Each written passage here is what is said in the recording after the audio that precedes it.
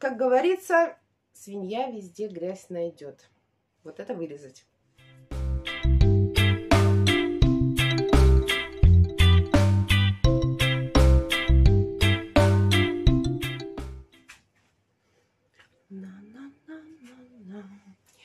Приветствую вас, друзья мои, на канале Оазис Миссис Смит.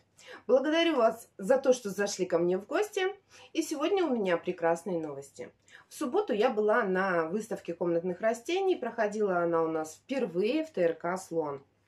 Выставка была небольшая, поэтому сами стенды я снимать не стала, но тем не менее. Ассортимент был неплохой, и, и как говорится, кто хочет, тот найдет, чем поживиться. И у меня есть несколько новинок, пойдемте покажу. Ну что, давайте рассмотрим мои новиночки. Что я себе нашла на выставке.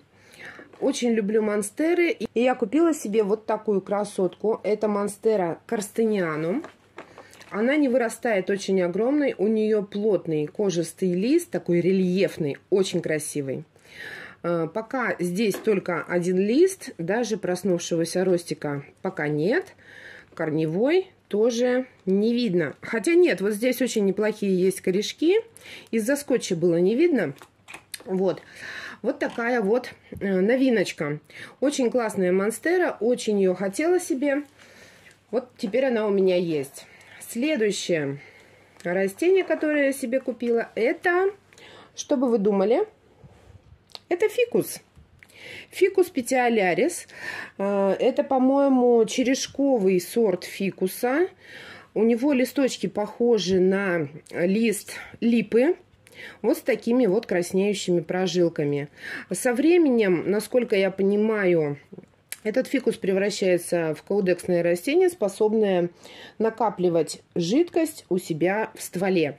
Ну, не знаю, посмотрим. Если, если я, конечно, смогу его дорастить до состояния каудекса, это будет просто великолепно. Отличная корневая, корешки даже вылазят из грунта и просятся на пересадку. Вот такая вот растюха. Дальше. Следующее растение это сингониум. Сингониум. Я думаю, что многие из вас его узнают, хотя характерной окраски листьев он пока еще не показывает. Это сингониум три короля. Прекрасная корневая система – и тоже, в принципе, можно уже и пересадить. Заодно посмотреть, что там делается в грунте. Хотя я думаю, что девчонки-коллекционеры, которые э, реализуют на выставках свои растения, заботятся о них не хуже моего. Поэтому по состоянию очень даже все неплохо. И еще одна новинка. Это филодендрон Жозебена. Вот такой вот прекрасный красавец мне достался.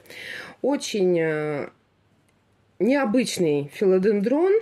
Считается коллекционным. Так, видно, да? видно листочки. Э, листья будут крупные, до 60 сантиметров. Ну, по крайней мере, я на это надеюсь, поскольку я ему собираюсь предоставить очень хорошие условия содержания, максимально подходящий грунт, увлажнение, подкормки и так далее. Очень хочу огромный куст вот этого вот красавца. Во! Посмотрите, какие листья. Листья еще не крупные. Ну и понятно, деточка на два листа, очень неплохая, с проснувшимся ростиком с проснувшимся ростиком. Но единственное, что вот из всех четырех растений, я их э, брала у одного коллекционера, вот этот филодендрон, посадка, мне не особенно импонирует, поскольку он был закопан вот так вот до этого уровня. Ростик торчал всего 1 сантиметр. Я понимаю, для чего это было сделано, поскольку лопухи огромные, и обрезать их не хотелось. Для того, чтобы они не опрокидывали растение из стаканчика, оно было посажено достаточно глубоко. Но, как мы с вами видим, корневая превосходная – и я в данный момент откопала его. Вот такое количество грунта я у него вытрясла. Надеюсь, что вот эта вот белая часть ростика, она все-таки позеленеет. попав на свет. А, для чего я вытрясла? Потому что как вам сказать, вот эти вот пенечки, да, которые остаются у черенков после срезания, их желательно не заглублять, потому что это может привести к загниванию вот этого среза верхнего особенно, и может понести с собой э, многие нехорошие последствия, вплоть до гибели растения.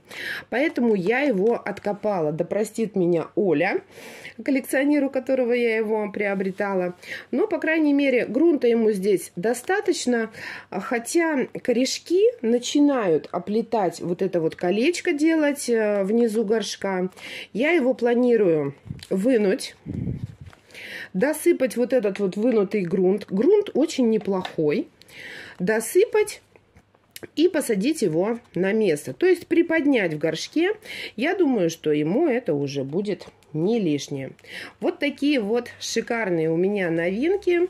Название обязательно напишу в описании к видео.